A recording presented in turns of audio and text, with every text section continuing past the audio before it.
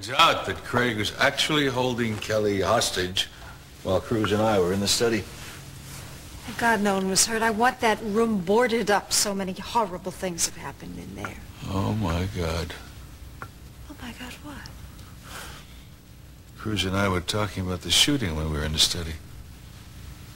You mean then Kelly heard you? Then she knows it was Eden who shot me? She must have heard it. Did she say anything to you? No, no. There were so many things going on at the time, she probably didn't think about it.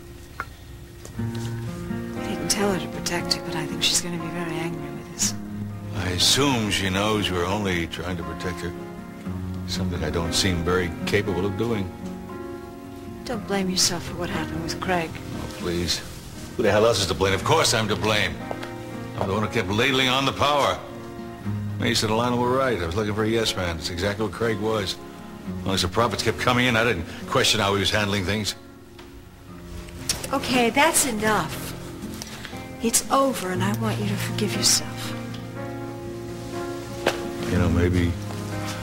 Maybe it's for the best that Kelly does know the truth.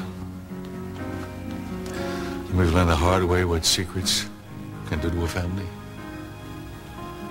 I do think something good has come out of this, though. Tell me what it is, please. I need a little solace. Kind of back together again. Oh, now look, I don't want to get into that. Hold, hold it. I'm not pushing anything. What I'm trying to say to you is we happen to share three remarkable children, and nobody can take that away from us. And if we can't be married, we sure as hell can be close friends now, can't we? Excuse me. Hi. Sorry to interrupt. I was wondering if you'd be staying for dinner tonight, Sophia. No, I'm not going to stay tonight, Rosa. I want to speak to Kelly, and then I have to go. Do you know where she is? She went upstairs to bed almost an hour ago. Aw. Said she was exhausted. I'm not surprised. Rosa, would you do me a favor? I'm, I'm going to go out for a while. I'd appreciate if you'd stick around with her in case she wakes up. Of course. Good night, Sophia. I'm so glad God was with your family today. Rosa. Thank you. So am I.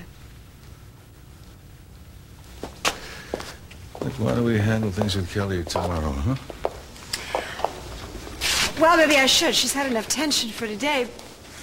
But I'm going to handle this myself. No. No, we're going to do it together. We are. We're going to handle it together, no matter where the chips may fall. Thank you.